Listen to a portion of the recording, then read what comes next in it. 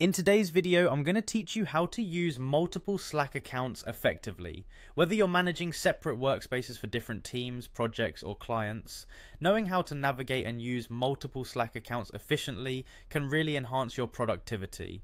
Let's dive into it.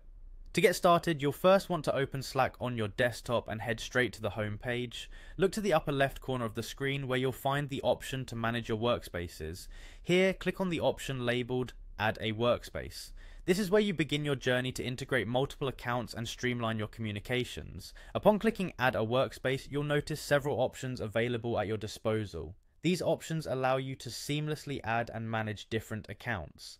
This functionality is crucial for users who need to swiftly toggle between various Slack environments, ensuring you stay organized and connected across all your professional domains. Next, you'll be prompted to select which email account you would like to associate with the new workspace you're adding. It's essential to choose the email address linked with that particular workspace to ensure all communications and invitations are directed appropriately. After selecting the correct email account, proceed to enter it into the provided field. This step is straightforward but ensures that the system recognizes which workspace you aim to connect with. Subsequently, you'll see an option to click on Open Gmail or the email client you use depending on what you have chosen earlier. By doing this, you'll retrieve a verification code that Slack has sent to your email account. This step is crucial for security and verifies your ownership of the email address. Once you have your email open, locate the verification code within the message from Slack and type it back into the provided field on the Slack website or app.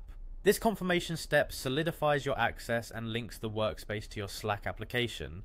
Now you'll be prompted to type in your name. This name will be the identifier across the Slack workspace you're joining. Ensure it is consistent with how you are identified in other spaces for ease of recognition by your colleagues. With your name entered, go ahead and click on Next. Proceed to enter any other required account information, ensuring all fields are accurately filled according to the workspace's needs.